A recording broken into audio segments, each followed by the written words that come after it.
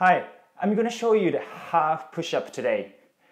If you hear the push-up or half push-up, you automatically think that you're using the arm strength. But today I want you to focus on the core, core strength. Core is around your body. So this strength I want you to focus. So first I'm going to show you the exercise and I'm going to come in back and explain what you need to do or key points and I'm going to demonstrate the exercise again.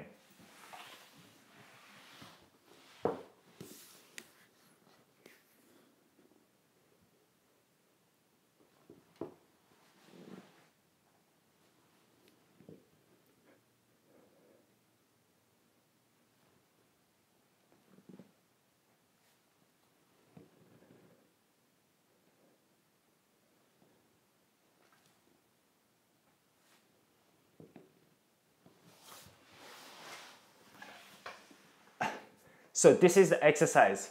So point is here. So when you're setting up your body, your, there is a space in between your body and the wall. So you cannot touch the uh, body, your body touch the, uh, the wall. You need a little bit space. And second of all, your arm is up uh, so that I'm not distract from your loading your body. Third one, your, your arms are beside uh, well, same level as the chest, so not coming up.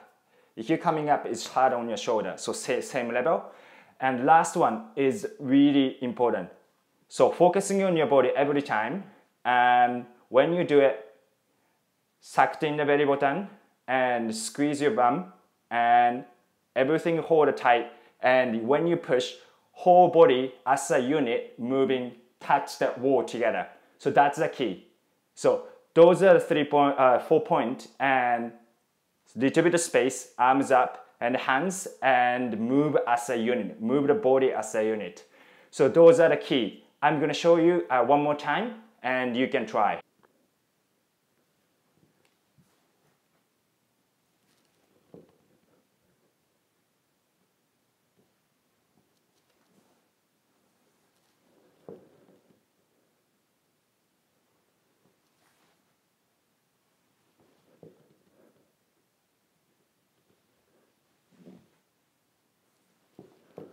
So if you can do this exercise, you don't need to do many times, but seven times. And if you can do two sets or three sets, that would be, would be great.